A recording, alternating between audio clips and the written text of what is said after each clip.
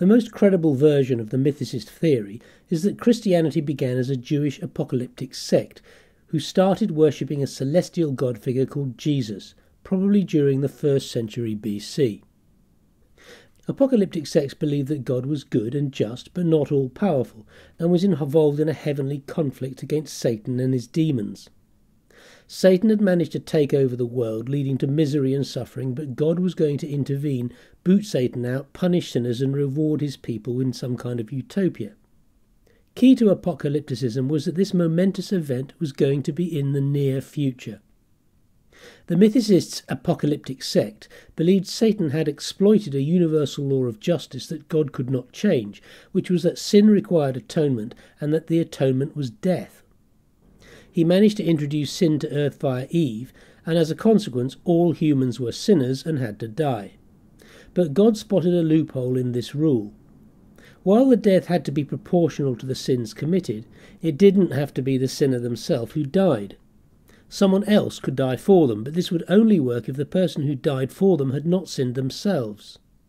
Also, a cheap angel wasn't going to be enough to pay for the sins of the whole world, but God had a son, Jesus, who would do. This Jesus developed an anthropomorphized narrative where he was conceived by God and a heavenly woman and born in the spirit realm. Then later he was crucified as a sacrifice for the sins of the earth, resurrected, and elevated to a high ranking position in the heavenly hierarchy. These events occurred in the distant past, and Jesus had been the resurrected ruling Son of God throughout human history. Then, around the year 70, in the turmoil of the Judeo Roman War, the anthropomorphization process took another step. Mark wrote a gospel which gave Jesus an earthly existence, which he placed in Jerusalem and Galilee 40 years prior. He did this by associating Jesus with earlier figures from the church and attributing to him sayings and deeds circulating in oral tradition and originating from others, plus a good bit of pure invention. Why Mark did this is not clear. It could have been that he was writing an allegory and did not intend for it to be taken literally. Or it could be that the historicisation idea was just another step in the process of anthropomorphization that had already started, and Mark was simply trying to organise disparate ideas in circulation into a coordinated narrative. Anyway, once he had done this, the idea took off rapidly for two reasons. One is that a personal Saviour who had been on earth, lived, suffered, and died with us had more appeal than fantastical imaginings about events in outer space. But the more important reason was church governance. The Mythicist Church had a problem with governance, both within congregations and between them, because of a lack of a clear power structure. Any church member's inspiration was as good as any other's, leading to conflicting ideas. The historical Jesus idea gave clear lines of authority, derived from Jesus through those who had known him, those who had known them, etc. The historicist and mythicist factions coexisted for a while, but the historicist hierarchical power structure gave them the edge in gaining new converts, and they came to dominate. That power structure also made them particularly sensitive to heresy, which they vigorously opposed. The result was that heretical literature, including mythicist literature, was not transmitted down to our time. With a few exceptions that got through the heretical screen, on the one hand because they had the desirable characteristic of being ancient, and on the other they were not obviously heretical because they did not overtly contradict the historicist narrative. The historicist theory, on the other hand, holds that Christianity did not exist in any form before about 30 AD, when a Jewish holy man called Jesus appeared on the scene, hard on the heels of another more prominent holy man called John the Baptizer. Jesus gathered a small following but didn't make enough of an impact to be noticed by historians. He ended up being crucified by the Romans for sedition in the early 30s, and there the matter would have rested except for two events. The first was, for reasons not fully understood, some of his followers came to believe that he had been raised from the dead. This belief gave the group a recognizable identity, and they continued to proselytize. The second event, also in the 30s, was the conversion to this group of a cantankerous but charismatic holy man called Paul. Over the subsequent two decades, Paul travelled around the Eastern Roman Empire preaching, founding churches, and developing the same celestial backstory for Jesus that the mythicists hold was the theology of the first Christians starting decades previously. Both Jesus and Paul were apocalyptic preachers, prophesying the imminent arrival of God's forces on earth to overthrow the powers of evil. By the late 60s, this still hadn't happened, and many within the church recognised that they were in this for the long haul and ought perhaps to commit the basics of their religion to writing for posterity. Starting with Mark, the evangelists pieced together what they could of the story of Jesus from circulating sources and oral tradition. From this point on, the historicist and mythicist theories are very similar, the only distinction being that the mythicists suppose that the original mythicist Christian church did not suddenly vanish, but limped on for perhaps a century or so before disappearing, as did the Gnostics in the following centuries. That means that the two theories only diverge significantly on church history in the first century. If Revelation is dated to the reign of Nero of 54 to 68 AD, that makes it pre Mark, and its Christology may help us discriminate between these two theories. Paul too was writing in this period, and the mythicist theory exists because Paul doesn't say what historicity expects him to say. He makes no reference to earthly deeds or sayings of Jesus. But he does make a handful of infuriatingly non-specific statements about Jesus that can be interpreted either way. Paul met James, the Lord's brother, but he used sibling relationships overwhelmingly to describe church members as brothers in Christ rather than biological siblings. He says in Galatians that Jesus was born of a woman, born under the law, which again sounds earthly, but he uses a Greek word for born that could mean created in heaven. So now turning to Revelation, I rather agree with Zwingli that it should not have been included in the Bible. It has been no stranger to controversy throughout its history. It had many detractors in the early Christian church. It was included in the New Testament, but was among the last book to be agreed on, and has gone on causing trouble ever since it has been implicated in multiple failed predictions about the return of Jesus and the end of the world from the Middle Ages down to our current time. It was behind the American Millerite movement's failed prediction of the return of Jesus in 1844, the Seventh day Adventist subsequent software patch on that bit of theology, and that church has gone on to have a weak spot for revelation, which was behind the disaster of the Branch Davidians at Waco. The potted version of Revelation is that it is a prediction of the imminent destruction of the Roman Empire and the forces of evil that support it by God. It's full of death and destruction with diseases, lakes of fire, a widespread flood of blood, thunder, lightning, 100 pound hailstones, dragons, beasts, and angels. It's organized into four sevens. It starts with the messages to the seven churches in Asia Minor dictated by Jesus.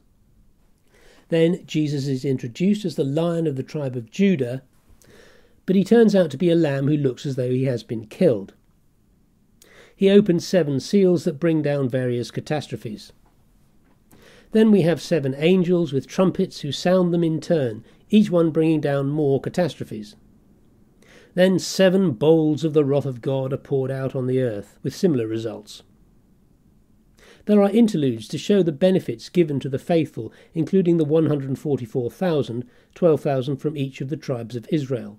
War in heaven, nefarious beasts associated with Rome, and, of course, this is early Christian writing after all, repeated references to demonic women and the sins of the flesh they commit with endless earthly rulers. Then the Battle of Armageddon is rather a disappointment.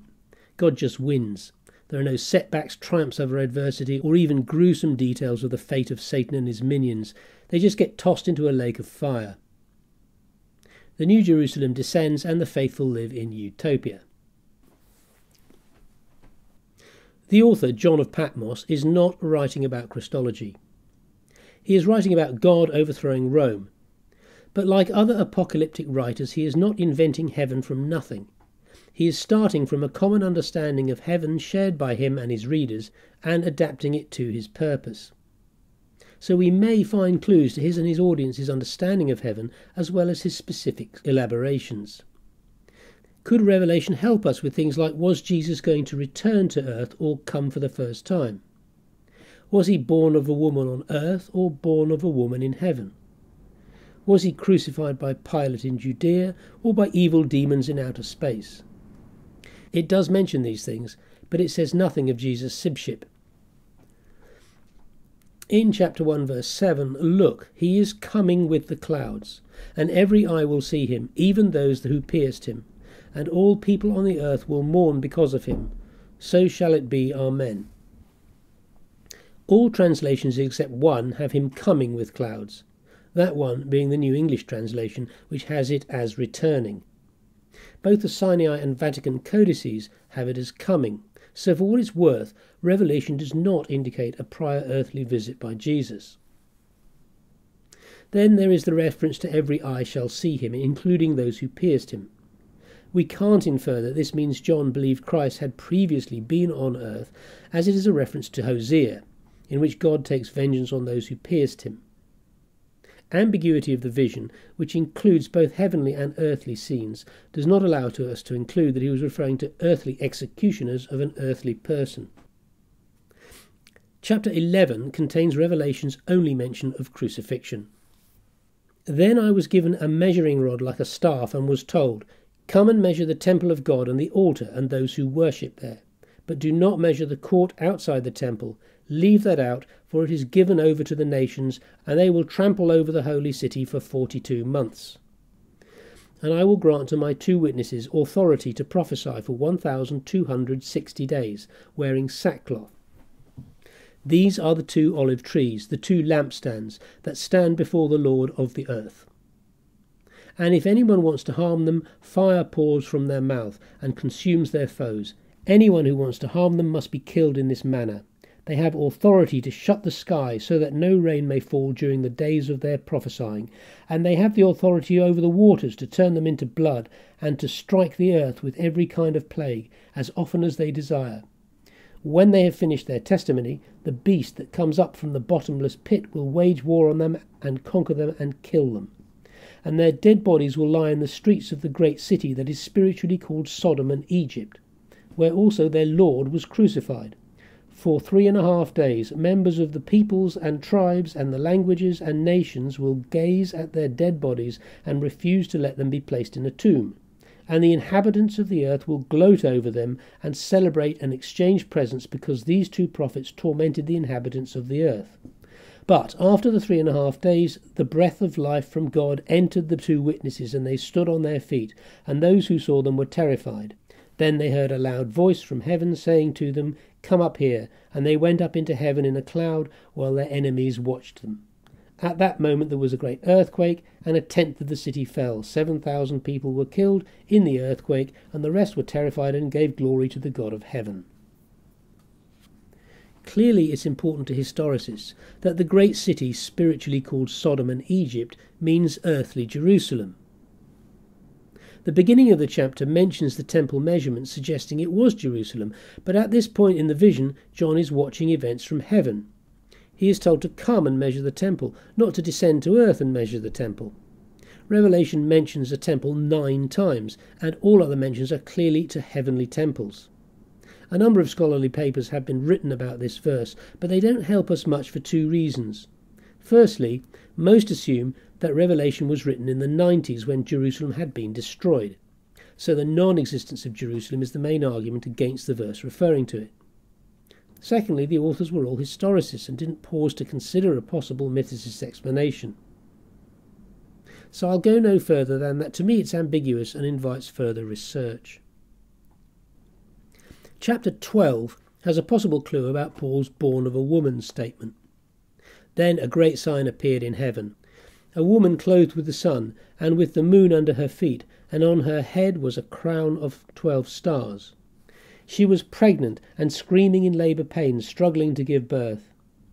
A huge red dragon that had seven heads and ten horns, and on its heads were seven diadem crowns.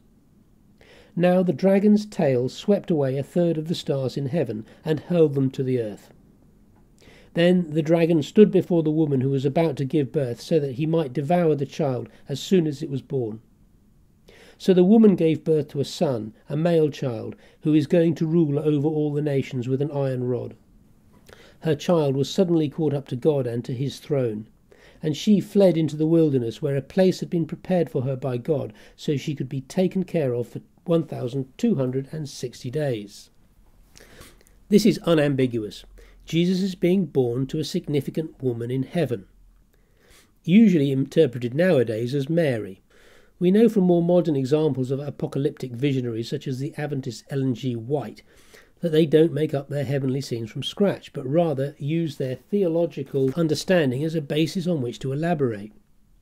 This raises the possibility that this image of the heavenly birth of Jesus was part of John's theology.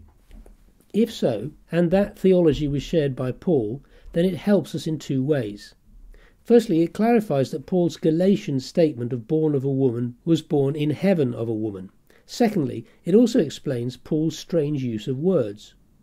To introduce somebody as being born of a woman when everybody else was born of a woman is redundant and consequently nobody ever does it. The only other place in the Bible where born of a woman is used in this way is in Job, and he uses it twice to describe humans in general rather than one in particular. Job 14:1 Man born of woman lives but a few days, and Job 25:4 how can one born of a woman be pure? If this was a mythicist pericope, understood by John, Paul, and their audience, then not only does it clarify Paul's meaning, but it also explains his use of words and why he used the term genomenos, which means something like created by God, rather than genos, meaning born,